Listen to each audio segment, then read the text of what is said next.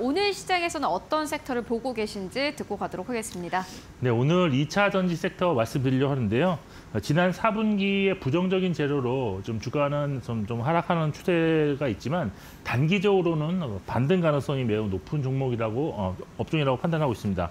먼저 업종 현황 및 포인트부터 말씀드리면 작년 같은 경우에는 셀 업체 1위인 LG 에너지 솔루션과 양극재 신흥 강자인 어, 포스코 케미칼 그리고 뭐 많은 강물 자원 관련 종목들이 어, 주가가 상승이 나타나면서 어, 사실 코스피나 코스닥 대비 는 상당히 좀 어, 양호한 흐름을 보였습니다. 특히 어, 리튬 가격이 급등했고 또 여기에 미국 IRA 법안에서 국내 기업들의 성장 가능성이 크게 불가했기 때문에 이렇게 좋은 흐름이 나타났었는데 하지만 어, 4분기부터는 어, 수급적으로 보면은 중국 리오프닝 수혜 업종을 매수하기 위한 2차 전지의 매도세 여기에 경기 민감 어, 낙폭과대 업종을 매수하기 위해서 또다시 2차 전지의 매도세가 좀 나타나면서 주가 흐름은 약세로 지금 반전한 상태입니다. 어, 여기에 펀더멘탈 측면에서 보면은 달러 약세로 인한 실적의 그런 상승세 둔화 우려감이 나타났고요.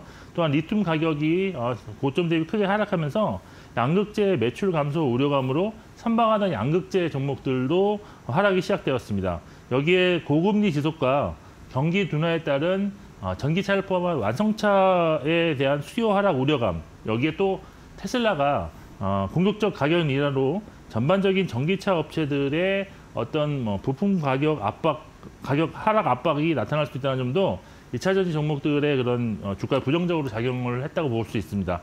실적 측면에서도 사실 이번 4분기 실적에서는 크게 기대하지 않는 분위기인데요. 어, 낮아진 환율 수준과 일회용, 일회성 비용 증가로 인해서 실적 쇼크 가능성이 매우 높다고 지금 어, 어, 어 예상되고 있습니다. 하지만 이런 4분기 어, 실적 쇼크 가능성은 이미 많이 지금 주가에 반영되었다라고 볼 수밖에 없고 실제 실적 쇼크 발표한 종목들의 주가는 실적 확인 후 매수하려는 대기 매수세가 있기 때문에 오히려 어, 실적 발표 이후에는 반등 가능성이 있다라고 볼 수 있습니다. 이런 점은 아무래도 수급 개선이 나타나는지를 좀 확인하시면서 대응하셔야 된다라고 볼 수 있고 어, 그리고 2차 전지 업종의 하락을 유력했던 대표적인 또 이슈가 LG 에너지 솔루션의 1년 보유수에 대한 그 물량 부담이었는데 이게 이게 1월 말로 다가오면서 오버행 이슈가 이제 어, 해소가 될 가능성이 있습니다. 그래서 단기로 반등 가능성이 높아졌다. 여기에 어, 하락의 하나 원인이었던 테슬라의 주가도 이미 바닥에서 채바닥에서 많이 상승한 상태이기 때문에 어, 지금 단기 반등을 기대할 수 있는 자리다라고 볼 수 있습니다. 하지만 전반적인 펀더멘털 악화, 수급을 고려할 때는 장기간 상승한 종목보다는 하락 이후 반등하는 종목을 좀 더 주목하셔야 되는데 특히 그 장기간 주가 하락한 2차 전지 소재 업체 중에서 구조적으로 수익성 개선이 가능한 종목에 대해서 집중적으로 좀, 어, 좀 접근이 좀 필요하지 않겠느냐라고 판단하고 있습니다. 네, 2차 전지 섹터 워낙 또 조정이 강하게 나왔는데 이제 반등 시작이다라는 의견 전해주셨고요. 그 안에서는 어떤 종목 보고 계십니까? 네, 2차 전지 소재 중에서 동박을 제조하고 있는 일진 머티리얼즈를 보고 있는데요. 일진 머티리얼즈는 2022년 말 기준으로 동박 어, 국내 생산이 연간 6만 톤으로 1, 2 업체이고요. 롯데그룹으로 인수함으로써 어, 인수됨으로써 조만간 사명이 변경될 예정입니다.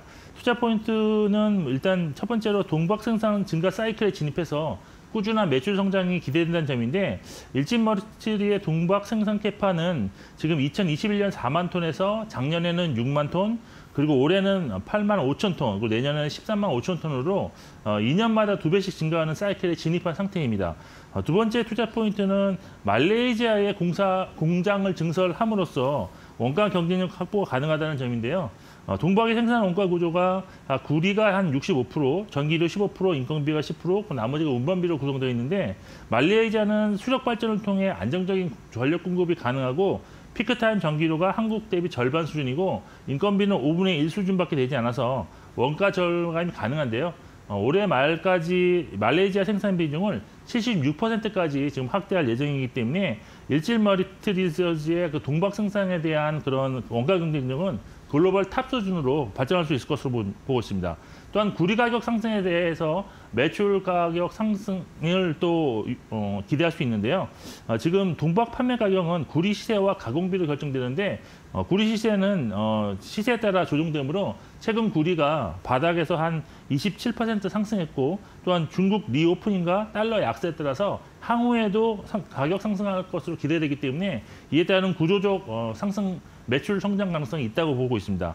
음, 현재 2차 전지 업종은 어, 수급 상황 개선이 확실하게 나타, 나타 나고 있지는 않고 있는데요. 그렇지만 동박 관련 종목들은 어, 이미 2021년 4분기에 주가 고점을 기록한 이후에 지속적 하락에 따른 수급 공백이 있었고 최근에는 수급 개선이 나타난 종목들이 보이고 있- 어, 보이기 시작하고 있습니다. 어, 그 중에서도 일진 머티리얼즈는 기간 수급이 좀 확실하게 개선되고 있는 중인데요. 어, 최근 10거래일 연속으로 기간 순매수가 진행되었다는 특징도 있습니다. 어, 지금 현재 기술적 분석상으로 보면은 아직까지는 중기 추세가 상승 전환이 확인되지는 않고 있는데요. 하지만 수급 개선이 추가적으로 진행될 경우에 추세 전환 가능성도 있고 어, 따라서 현재 시점에서 어, 일부 매수 후에 어, 추세가 전환이 확인되는 한 2월 달쯤에 어, 추가적으로 매수하는 전략이 바람직해 보입니다. 어, 가격 전략은 단기 목표가 7만 원 그리고 손절가 5만 5천 원을 제시해 드리겠습니다. 네, 알겠습니다. 김영재 이사와 함께 이야기 나눠봤습니다. 오늘도 고맙습니다. 네.